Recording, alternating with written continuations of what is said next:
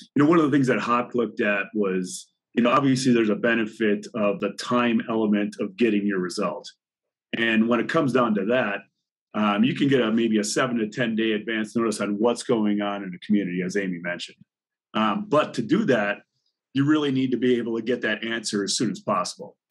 And when we looked at what was available, available technologies to do this, how to extract the virus out of wastewater, they're very complex methods. And we know our customers and wastewater utilities, and they're generally not kind of skilled at, you know, wastewater-based epidemiology, extracting viruses out of uh, out of wastewater. It's a pretty complex method, and probably requires people are educated in that in that type of uh, methodology. And so when we looked at what we could do, it had to be simple in order to make that test to happen on site. And if you could do the test on site, it made the, the, the result much more actionable because what we saw, you know, when we started this project was that most, if not all, a lot of these uh, people who were doing wastewater-based epidemiology in in universities and communities were sending their samples out to central labs and then getting the results back five, seven days later. And that time window basically really impacts the actionability of that result. It's almost just a data collection exercise at that because your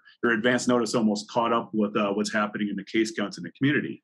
So we really looked at the method and how could we improve that method so that somebody at a wastewater plant that has a traditional maybe laboratory background but not a PhD in epidemiology or molecular biology could run a test like this. And so we scoured the landscape and we ended up uh, partnering with uh, Luminultra, who is an existing partner of us, who worked with Dalhousie University to bring in a method that made it much, much easier uh, to run this test where you could take a sample and within an hour or two, depending on how many samples you're running, you could get your results. And then you could, you know, plot it and take action on it